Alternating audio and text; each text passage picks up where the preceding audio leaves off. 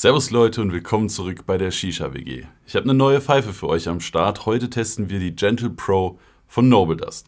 Wir hatten ja bereits den Vorgänger, beziehungsweise eigentlich nicht das Vorgänger, aber das erste Modell von Noble Dust im Test, die Noble One. Jetzt haben wir sozusagen die Noble 2 oder wie sie richtig heißt, die Gentle. Ich habe jetzt hier die Gentle Pro, weil die Pfeife kommt in zwei verschiedenen Ausführungen. Es gibt die Gentle Pro, die bereits groß ist. Ihr könnt euch aber auch die Gentle kaufen, die dann sozusagen eine kleine Ausführung ist. Das habt ihr eben schon in den Cinematics gesehen. Erstmal zu ein paar Eckdaten von der Pfeife. Die Gentle Pro kostet ohne Bowl 139,90 Euro. Man kann nur noch Code SWG benutzen. Dann steht im Warenkorb, dass man 10 Cent Rabatt bekommt. Es geht aber nicht um die 10 Cent. Es konnte leider nicht anders abgebildet werden. Ihr bekommt einen kostenlosen Schlauch mit dazu, wenn ihr euch die Pfeife bei Noble das kauft. Die Gentle Pro ist die große Variante. Die Gentle ist die kleine Variante. Man kann aber auch, wenn man die Gentle Pro kauft, das Ganze auf die Gentle umbauen. Das heißt, wer sich die Gentle Pro kauft, kann die Pfeife auch klein rauchen auf kleinen Steckbowls. Und speaking of Bowls, da ist keine dabei. Es gibt aber recht günstige Bowls auch direkt bei Noble Dust im Shop. Die kosten dann, glaube ich, für eine große Bowl 27 Euro. Das ist einfach hier so eine Standard-Bowl. Sind vollkommen okay für den Anfang. Aber bei einer Steckpfeife ist es ja sehr, sehr nice, wenn man da einfach die Wahl hat. Habt ihr schon eine Bowl daheim? Müsst ihr euch keine dazu kaufen. Habt ihr noch keine Bowl? Schmeißt ihr für 27 Euro gerade noch die Bowl mit in den Warenkorb. Dann habt ihr trotzdem für unter 170 Euro die Gentle Pro eine Made in Germany Pfeife, die ihr sowohl groß als auch klein rauchen könnt. Im Lieferumfang ist auch ein großer und ein kleiner Teller enthalten, was sehr, sehr geil ist. Ihr habt einen abnehmbaren Diffusor, ein kürzbares Tauchrohr und eine kürzbare Rauchsäule.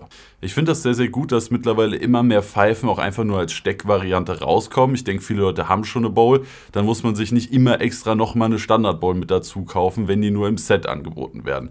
Das gefällt mir also sehr, sehr gut. Die Gentle-Pfeife ist komplett made in Germany. Bis zum Kopfadapter ist das Ganze 56 mm hoch. Wir haben 8 mm Plastikkugeln, drei davon in der Base verbaut. Wir haben einen leider einen Steckschlauchanschluss mit zwei O-Ringen. Da hätte ich mir noch einen Schliff gewünscht. Ist aber mit einem Schliff sehr, sehr schwierig, weil ja der Schlauchanschluss einfach waagerecht in die Base reingeht. Da ist das leider relativ schwierig, einen geilen Schliff zu bauen. Da muss man das mit O-Ring lösen. Und bei der Form von der Base wäre es auch sehr, sehr unpraktisch oder sehr, sehr unschön, wenn der Schliff irgendwie hier oben in die Base reingehen würde. Von daher ist das mit dem 2 O-Ring-Steckadapter wohl noch das Beste, was man bei der Gentle Pro rausholen konnte. Ich mag allerdings normale Schliffanschlüsse deutlich lieber. Wenn man sich also anguckt, was man für diese 140 Euro bekommt, eine in drei verschiedenen Varianten umbaubare Pfeife. Ihr könnt die Pfeife groß rauchen, ihr könnt die Pfeife klein rauchen, ihr könnt euch auch noch, beziehungsweise ist es bei der Pro-Variante dabei, es gibt ein kleines Adapterstück. Normal, wenn man die Pfeife umbauen würde, wäre nämlich der Kohleteller direkt hier zu verschrauben. Dann hat, verliert man den Schliff, weil die Pfeife hat einen 18,8er Kopfschliff. Das heißt, wer will, kann auch noch einen Molassefänger draufpacken, aber vor allem für die Reinigung ist es so deutlich einfacher. Das heißt, wenn man den Adapter benutzt, kann man das obere Stück der Rauchsäule benutzen und das unten in die Base schrauben mit dem Adapter und hat trotzdem den Blow-Off und den Schliffanschluss. Wer sich nur die kleine Variante holt, also die Gentle, der hat leider oben keinen Tellerschliff. Wenn euch das wichtig ist, solltet ihr also vielleicht eher zu der Pro greifen als zu der Gentle. Und gerade bei dem Preis, wenn man sich überlegt, was alles dabei ist, also ich meine jetzt nicht, klar, es ist keine Bowl dabei und es ist kein Schlauch und kein Mundstück dabei, aber für 140 Euro eine Made in Germany Pfeife, übrigens das ganze Ding wiegt 3,5 Kilo, ist unglaublich massiv. Für 140 Euro eine Made in Germany Pfeife, die man auch noch groß und klein rauchen kann, je nachdem wie man das will, ist für mich preis-leistungsmäßig wirklich eine kranke Ansage an die Konkurrenz. So, ich würde sagen, wir kommen aber erstmal zu unseren normalen Review-Punkten, hangeln uns da wie immer dran vorbei. Angefangen mit der Verarbeitung. Das Ding ist made in Germany und das merkt man auch einfach sofort. Die Gewinde laufen wie Butter, alle Schliffe funktionieren hervorragend. Der Schlauchanschluss ist ein bisschen schwer reinzukriegen, dafür hält er auch. Also eigentlich ist der Schlauchanschluss so ziemlich mein einziger Kritikpunkt, was die Verarbeitung angeht. Der ist gut gemacht, der ist schön verarbeitet. Aber ja, wie gesagt, ein Schliff wäre irgendwie cooler gewesen, aber ich verstehe, warum das bei der Gentle bzw. der Gentle Pro einfach nicht drin war. Mit der Baseform wäre das einfach sehr, sehr schwierig gewesen. Aber für 140 Euro bekommt man hier wirklich eine so krass gut verarbeitete Pfeife, das ist der Wahnsinn. Bei dem ersten Modell, das ich hatte, war der Teller noch nicht entgratet. Und als ich dann mit Noble das geschrieben habe und schon mal mein Feedback dagelassen habe, habe ich halt gesagt, Leute, das passt einfach nicht. 140 Euro und die Verarbeitung ist so geil und dann so eine Kleinigkeit wie den Teller nicht entgraten. Entgraten heißt übrigens, dass man hier nochmal mit so einem Gerät zum Entgraten drüber geht und die scharfe Kante so ein bisschen verschwindet. Ne? Bei dem alten Teller, den ich hatte, konntest du hier drüber fahren und du hast gemerkt, okay, das ist schon sehr, sehr scharfkantig und irgendwie nicht so schön. Und der Rest der Pfeife war super nice verarbeitet und dann war ich so, Leute, das passt einfach nicht. Das ist alles so geil gemacht und dann so ein Teller. Das ist irgendwie, nee, das passt einfach nicht. Und das hat Noble Dust eingesehen und Noble Dust hat neue Teller gemacht. Ich habe jetzt hier auch schon den neuen Teller drauf und auch die neuen Pfeifen werden alle mit einem entgrateten Teller kommen. Und jetzt passt das Ganze. Also die Verarbeitung für 140 Euro ist vielleicht, was Preis-Leistung angeht, das Beste, was ich hier gesehen habe. Der nächste Punkt auf unserer Liste, das Design. Vom Design her muss ich sagen, ist es jetzt nicht die schönste Pfeife, die ich jemals gesehen habe. Es ist aber auch definitiv keine hässliche Pfeife. Sie ist halt sehr, sehr simpel. Da muss jeder selbst wissen, ob einem das gefällt. Ist ja immer so bei der Optik. Da müsst ihr einfach ganz subjektiv für euch wissen, gefällt euch das Ding oder gefällt euch das Ding nicht. Da ist auch eigentlich relativ egal, was ich dazu sage. Ich finde sie simpel, ich finde sie recht schön, aber das ist jetzt auch, ich gucke auch nicht diese Pfeife an und denke mir, Junge, das ist, das ist jetzt eine richtig geile Pfeife.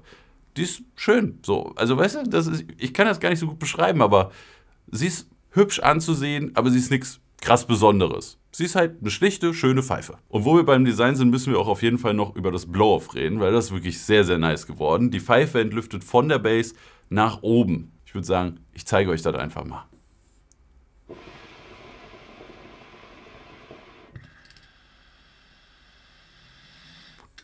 Das kennt man ja bereits von anderen Pfeifen, aber ist ein schöner Blow-Off, sieht nice aus und funktioniert auch sehr, sehr gut. Aber da kommen wir dann gleich noch beim Rauchverhalten drauf. Ansonsten die Pfeife vom Design her in sich sehr, sehr schlüssig.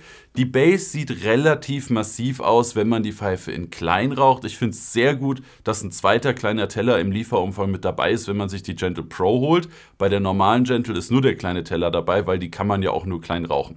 Aber wer sich die Gentle Pro kauft, bekommt den großen Teller und den kleinen Teller. Das heißt, wenn man die Pfeife auf das kleine Ding umbaut, was wir auch auf jeden Fall gleich nochmal machen werden, dann hat man auch einen kleinen Teller. Und dann sieht der nicht so vollkommen überdimensioniert aus. So, die Pfeife nochmal umgebaut. Jetzt haben wir praktisch die normale Gentle am Start. Ich habe extra nicht das andere Teil der Rauchsäule genommen. Ich habe auch extra mal den Diffusor abgemacht, damit ihr es nochmal blubbern hört. Und ich habe das Ganze jetzt auf die Prestige Mini von Aeon gesetzt. Da könnt ihr natürlich irgendeine kleine Steckboy nehmen, die ihr zu Hause habt.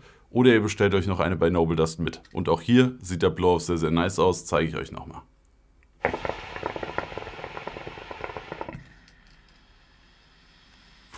Natürlich trifft der Rauch so viel schneller auf den Teller und wird viel schneller nochmal zur Seite weggeballert. Sieht aber auch sehr, sehr cool aus. Ich muss aber sagen, der Blow-Off gefällt mir in der großen Variante deutlich besser. So, kommen wir als nächstes zum Rauchverhalten. Und da war ich auch wirklich krass überrascht. Der Durchzug von dieser Pfeife ist wirklich extrem geil und kommt sehr, sehr nah an mein bisheriges Nonplusultra, die Aeon Edition 4 Lounge ran. Die Pfeife hat natürlich auch ein paar Ähnlichkeiten zu der Aeon, wir haben also zu der Aeon Edition 4 Lounge. Wir haben ebenfalls einen Schlauchanschluss, wir haben das Entlüften hoch, wir haben Made in Germany Edelstahl.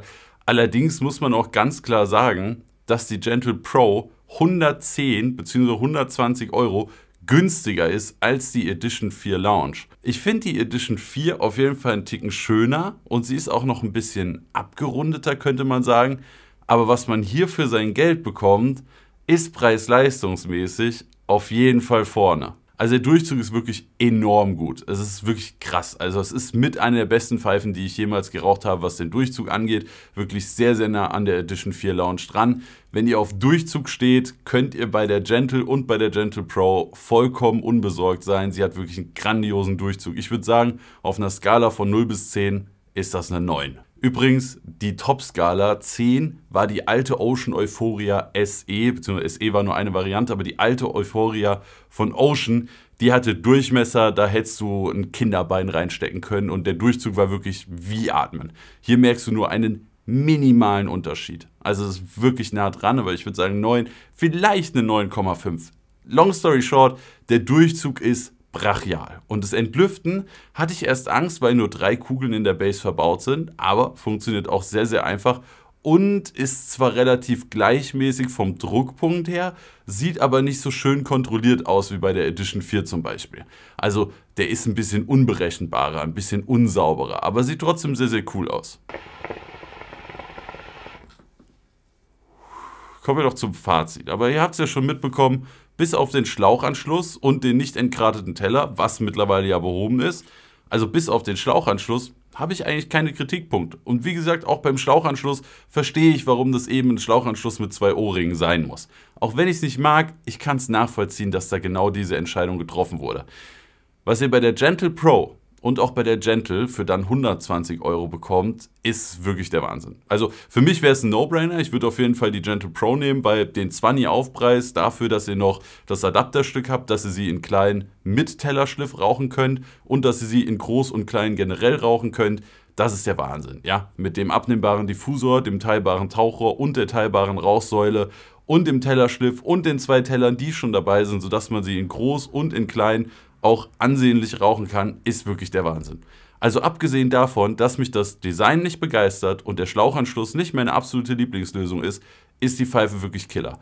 Und das als einzige kleine Kritikpunkte bei einer Pfeife, die für 140 Euro made in Germany ist, finde ich wirklich geisteskrank. Also wenn ihr auf der Suche seid nach einer Pfeife, die hervorragend verarbeitet ist, die ein absoluter Preis-Leistungskiller ist und die euch Flexibilität bietet durch große und kleine Rauchbarkeit, dann ist das Ding eure Pfeife. Also ich bin sehr begeistert, was Noble das da rausgebracht hat. Ich fand ja schon die Noble One sehr, sehr cool, aber was die Gentle Pro da jetzt oben drauf setzt, ist wirklich der Wahnsinn. Was man für 140 Euro da an Qualität bekommt, ist geisteskrank. Lasst mich gerne in den Kommentaren wissen, wie ihr die Pfeife findet, falls ihr sie schon kennt. Lasst gerne einen Daumen nach oben oder ein Abo da und dann sehen wir uns beim nächsten Mal. Bis dahin macht's gut, eure Shisha WG.